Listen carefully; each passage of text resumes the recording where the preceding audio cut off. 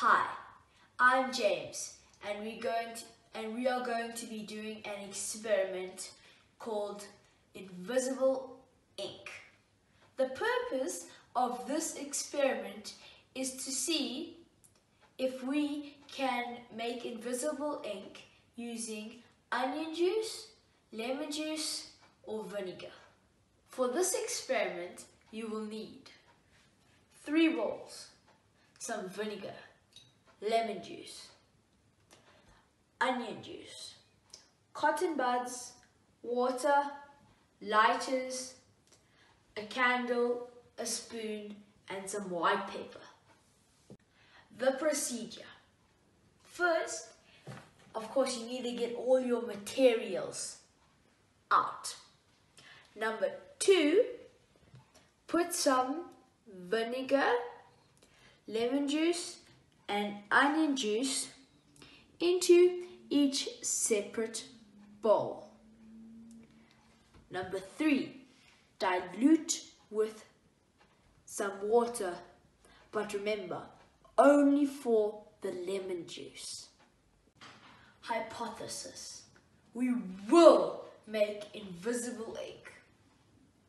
I think the onion will make the, the best invisible ink.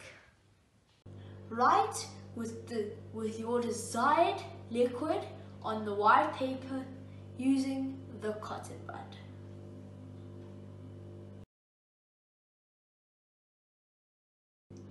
We will now leave the paper to dry overnight. The next step is to heat the paper with the lighted candle.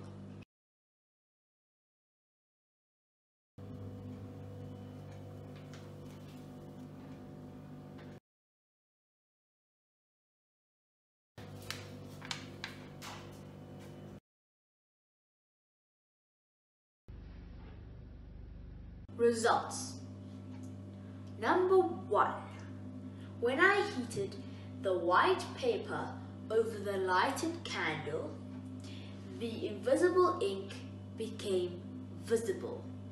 Number two, the onion juice was the best invisible ink, proving the second part of my hypothesis.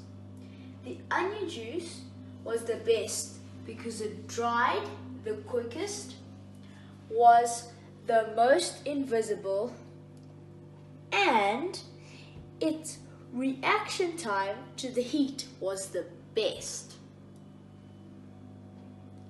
Conclusion Onion juice plus white paper equals invisible ink. Onion juice contains carbon. Onion juice plus heat releases the carbon. Carbon plus oxy oxygen equals oxidation. Oxidation makes the invisible ink visible, turns it brown, because it creates carbon dioxide, CO2. Just to recap, oxidation is a process in which a chemical substance changes because of the addition of oxygen. Carbon dioxide is released. Thank you for watching. We are done.